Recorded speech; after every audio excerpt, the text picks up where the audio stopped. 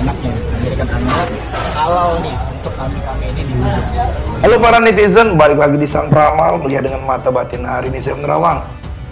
Lesti Kejora dan Rizky Bilar yang Bilar ungkapkan ingin jadi yang terbaik untuk sosok Lesti Kejora. Yang kita tahu, oke, kericuhan antara Bilar dan Lesti ya sudah mulai senyap. Dan kini Bilar dan Lesti mulai perbaiki semuanya. Ya akankah harapan Bilar ini bisa terjadi? Dan akankah ya ujian-ujian oke yang bertubi-tubi datang dalam rumah tangga mereka bakal menghilang. Kalian penasaran? Mari kita lihat. I can see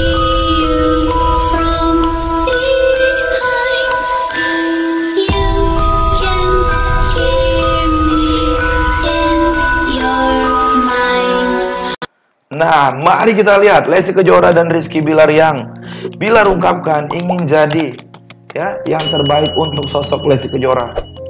Yang kita tahu setelah ya ujian yang datang kini cinta mereka semakin kuat. Apalagi setelah mereka ungkapkan janji di tanah suci. Nah, akankah ujian-ujian ke ke depannya bakal hadir lagi dalam rumah tangga mereka?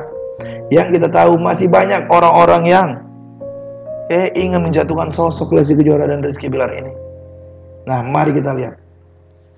Kartu yang pertama, kartu yang keluar adalah Queen of Cups. Kita lihat di sini ada ratu. Memegang satu buah cups duduk di singgah sana di bawah kakinya ada kerikil.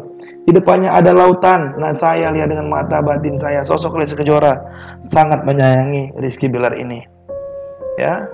Meskipun ujian begitu besar datang, namun sosok Lesti tetap setia dan yakin bahwa ya dirinya dan Bilar bisa lewati ini semua. Kita buka lagi. Kartu kedua, kartu yang keluar adalah The Chariot. Kita lihat di sini ada kesatria.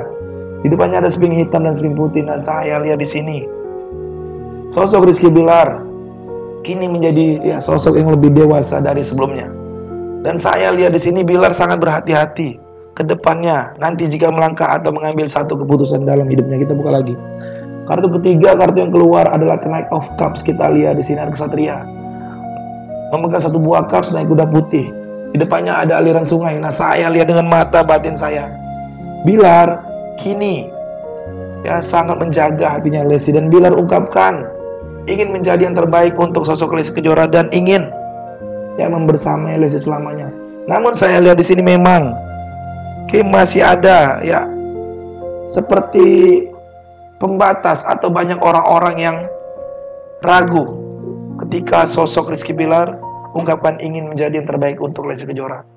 Nah, mari kita buka lagi tiga kartu yang berikutnya. Padahal Bilar sudah perjuangkan semuanya, ya. Bilar sudah mengorbankan Oke, karirnya yang kita tahu. Sosok Bilar yang masih diboykot oleh TV. Hingga sosok Lesti pun membersamai Bilar ya untuk mengembangkan bisnis-bisnis mereka. Nah, apa yang bakal terjadi ke depannya dalam rumah tangga Lesti Kejora dan Bilar ini? Mari kita lihat. Kartu keempat, kartu yang keluar adalah Temperance. Kita lihat di sini ada malaikat yang bersayap menuangkan air dari satu cups-cups lainnya. Nah, saya lihat di sini. Ya, meskipun saat ini Lesti Kejora dan Bilar masih vakum dari TV. Saya lihat di sini, inilah momen-momen terindah dalam hidup mereka. Selalu bersama, memberikan perhatian lebih untuk satu sama lain. Kita buka lagi. Kartu kelima, kartu yang keluar adalah Three of Wands. Kita lihat di sini seorang memegang satu buah tongkat, meninggalkan dua tongkat di belakangnya, dan orang ini melihat jauh ke depan. Nah, saya lihat di sini memang, ya, dunia TV ini kayak bakal ditinggali oleh sosok Rizky Bilar. Apalagi ya hal ini diperkuat oleh sosok Rizky Bilar yang masih diboykot oleh TV. Namun saya lihat di sini untuk bisnis Rizky Bilar ya bakal tetap masih terus berkembang. Kita buka lagi. Kartu keenam kartu yang keluar adalah Five of Swords. Kita lihat di sini ada seorang mengambil tiga buah pedang meninggalkan dua pedang di belakangnya dan ada dua orang bersedih. Nah, saya lihat dengan mata batin saya. Memang masih ada aja ya di depan nanti ya berita-berita miring tentang rumah tangga mereka. Dan ini ya berita-berita miring ini dibuat oleh hater-hatersnya Rizky Bilar dan Messi. Ya buat para fans terus rapatkan barisan. Kita buka lagi tiga kartu yang berikutnya. Nah, akankah sosok Lesti Kejora dan Rizky Bilar ini bisa bertahan selamanya? Ya mengingat banyaknya ujian yang datang dalam pernikahan mereka. Mari kita lihat. Kartu ketujuh, kartu yang keluar adalah Seven of Sword. Kita lihat di sini ada seorang mengambil lima buah pedang, meninggalkan dua pedang di belakangnya. Nah, saya lihat dengan mata batin saya. Ya, kemarin ada ujian besar datang, Lesi Kejora dan Bilar masih tetap bertahan. Namun saya lihat di sini ya, ini dijadikan pelajaran yang sangat berharga bagi sosok Lesi Kejora dan Bilar.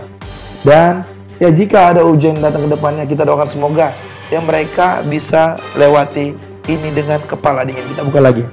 Kartu ke-8 kartu yang keluar adalah King of Pentacle. Kita lihat di sini ada raja membuka satu buah koin. Berada di taman yang sangat indah. Saya lihat dengan mata batin saya di 2023 ini. Ya sosok Rizky Bilar dan bisnisnya masih terus berkembang. Ya harta yang berlimpah masih terus ya menghampiri sosok Rizky Bilar ini. Kita buka lagi. Kartu terakhir kartu yang keluar adalah Nine of Cups. Ada seorang pria, di atasnya ada 9 buah cup. Saya lihat dengan mata batin saya. Bilar harapkan ingin menjadi yang terbaik buat Leci Kejora, ingin menjadi suami yang terbaik dan ayah terbaik ya. Ya, menjadi suami terbaik untuk Leci Kejora dan ayah terbaik untuk BBL dan saya lihat di sini hal itu bakal terjadi. Ya, di 2023 ini. Oke, saya lihat sosok Rizky Bilar semakin sayang dan semakin cinta hanya untuk Leci Kejora. Meskipun nanti ada aja ya berita miring ya yang bakal muncul dalam rumah tangga Lesti Kejora dan Rizky Bilar. Dan saya lihat di sini Bilar memang ya tinggalkan dunia TV dan Bilar bakal besarin bisnis bisnisnya Temperance. Sosok Lesti Kejora dan Bilar ini saling sayang, ya saling mencintai menyayangi. Dan ini tulus dilakukan oleh mereka ke Night of Cups. Apalagi ketika sosok Lesti memaafkan Bilar dan Bilar Oke, kini buktikan dan perjuangkan ingin menjadi yang terbaik untuk Lesti Kejora The Chariot. Bilar ya sangat hati-hati saat ini ya melangkah atau melakukan sesuatu. Oke, semuanya bakal penuh pertimbangan Queen of Cups. Lesti juga sangat menyayangi Bilar dan sangat mencintai keluarganya ini. Dan ya ketika ujian kemarin datang, ya itu ujian yang besar. Lesti dan Bilar bisa melewatinya. Namun saya lihat di sini, ke depannya ya ujian bakal ada lagi Oke, untuk menguatkan cinta mereka. Dan kita doakan semoga Lesti Kejora dan Bilar, ya saya lihat ini bisa melewati ini ya. Nah, kawan-kawan boleh komen di kolom komentar bagaimana menurut kalian. Sampai ketemu lagi di Sang Peramal melihat dengan mata batin.